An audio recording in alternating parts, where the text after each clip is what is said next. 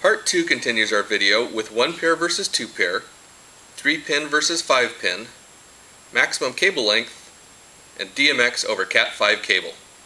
1 pair versus 2 pair cable. Although a second data pair has always been optional in DMX cables, a few powerful production houses require that all their DMX cables have both pairs wired. This is because it can be difficult from the outside of a cable to determine if a cable is single or two pair. If a production is expecting to use the second pair for some purpose, and there is one pair cable mixed up in the rig, it can be painfully difficult to find and correct the problem. Having only two pair cable in inventory eliminates this chance. The extra cost of inventorying only two pair cable is justified in these big productions where troubleshooting time is unbelievably expensive. However, in my humble opinion, for the vast majority of DMX users, two-pair cable is a waste of money. I personally am an advocate of single-pair cable for portable cables. On the other hand, for in-wall installations, where repair or replacement would be difficult, I'll admit, installing two-pair cable might be a good idea. 3-pin versus 5-pin cable. Whenever this topic is mentioned at the standards meetings, the room gets very tense. There are strong opinions on both sides. However, the fact is, the original standard, written in 1986, and every revision since, specifies the 5-pin XLR connector. No ifs, ands, or buts.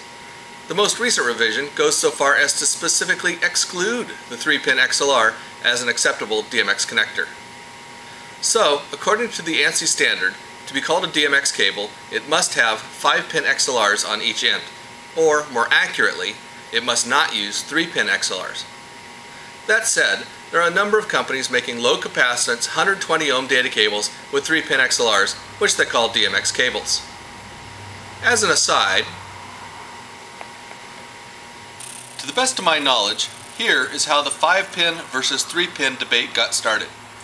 In 1986, when DMX 512 was written, the 5 pin XLR was selected as the standard connector for DMX 512.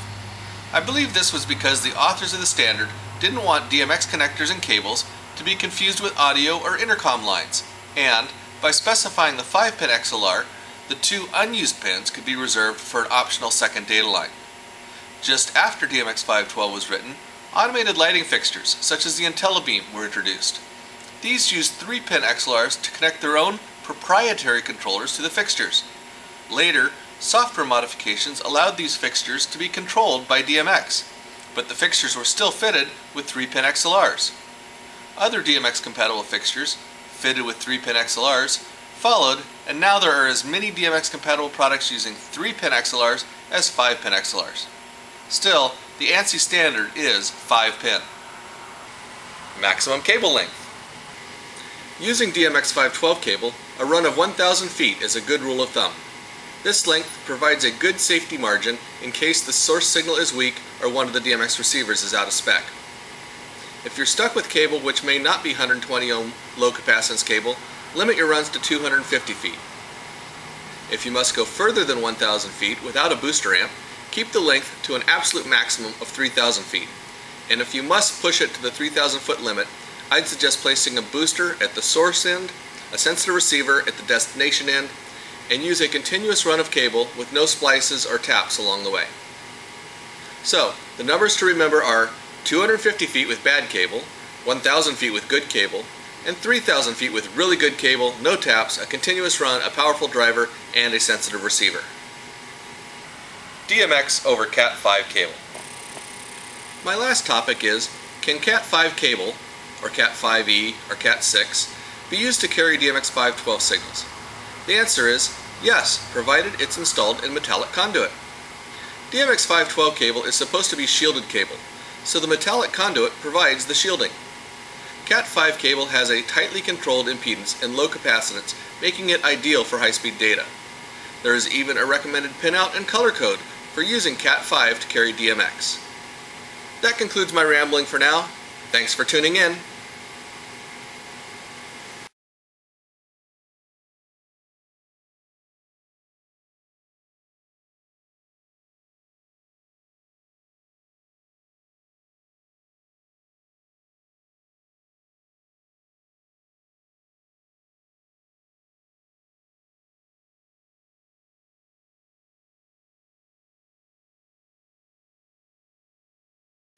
We live. We live. We live.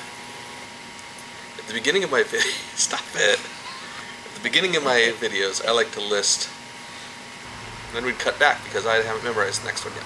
Okay? I'll, are we ready? Cut. Take two. Although a second pair of data, let's try again. A few powerful production companies require the. Oh gosh, I did better the first time. And there is one pair of cable mixed up in the rig. It can be difficultly painful. Painfully. You ought to try this. It's hard. The most recent revision goes so far as to specifically exclude the 3-pin XLR as an accept, accept uh, well, the uh, the 3-pin 5-pin controversy to my best to the however in my humble opinion for the okay we can start over